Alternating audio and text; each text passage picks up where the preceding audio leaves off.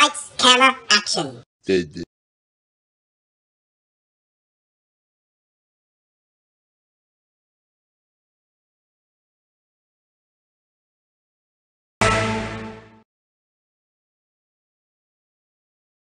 Breaking news. Ginger has been arrested for public disturbances after neighbors complained about the loud noises from his party.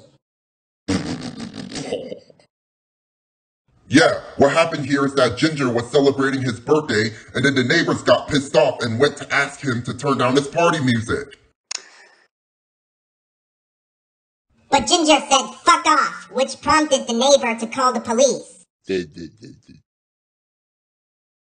When the police arrived, they asked him to turn down the music.